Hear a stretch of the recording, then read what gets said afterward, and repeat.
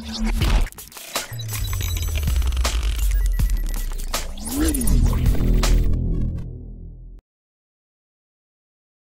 Friends sports பற்றின செய்திகளை உடனுக்குடனாக தெரிஞ்சுக்கொள்ள நம்ம தமிழ் கிரிக்கெட் சேனலை சப்ஸ்கிரைப் பண்ணுங்க. இந்த இரண்டாயிரத்தி பத்தொன்பதாம் ஆண்டுக்கான ஐபிஎல் போட்டி இந்த மார்ச் மாதம் இருபத்தி மூன்றாம் தேதி முதல் தொடங்க இருக்கு. இதில் முதல் போட்டியில் பார்த்தீங்க அப்படின்னா மகேந்திர சிங் தோனி தலைமையிலான சென்னை சூப்பர் கிங்ஸ் அணியும் விராட் தலைமையிலான ராயல் சேலஞ்சர்ஸ் பெங்களூர் அணியும் மோத இருக்காங்க.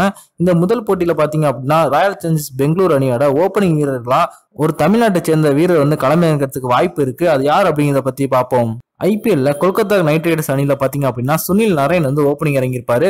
அவர் வந்து அனைத்து போட்டியிலுமே ஒரு அதிரடியான பேட்டிங் வந்து வெளிப்படுத்துவார்.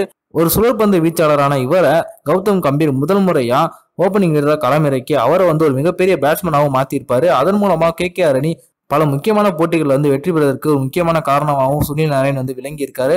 அதே போல தற்போது ஆர்சிபி அணியில் இடம் பிடித்துள்ள தமிழக வீரரான வாஷிங்டன் சுந்தர் வந்து ஆர்சிபியோட ஓப்பனிங் வீரராக களமிறங்கிறதுக்கான வாய்ப்பு அதிகமாக இருப்பதா சொல்றாங்க.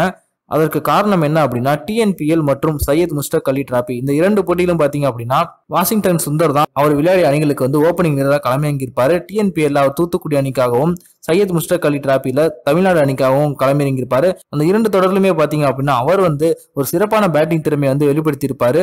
அதன் காரணமாக தான் சுனில் நரேன் போலவே தற்போது வாஷிங்டன் சுந்தரையும் ஆர்சிபி அணிக்காக ஓப்பனிங் வீரராக களமிறக்கலாம் அப்படிங்கிற ஒரு திட்டம் வந்து செயல்படுத்த போறாங்களாம். அந்த அணியின் ஓப்பனிங் வீரர்களா பார்த்திவ் பட்டேல் மற்றும் வாஷிங்டன் சுந்தர். இவங்க இரண்டு பேரும் துரோக்க வீரர்களாக களமிறங்கிறதுக்கு வாய்ப்பு அதிகமா இருக்கு அப்படின்னு சொல்றாங்க. அப்படி வாஷிங்டன் சரியா செயல்படாத நிலையில அவருக்கு பதிலாக ஹெட்மேயர் வந்து ஓப்பனிங் வீரராக களமிறக்கப்படுவாங்க அப்படின்னு சொல்லியிருக்காங்க.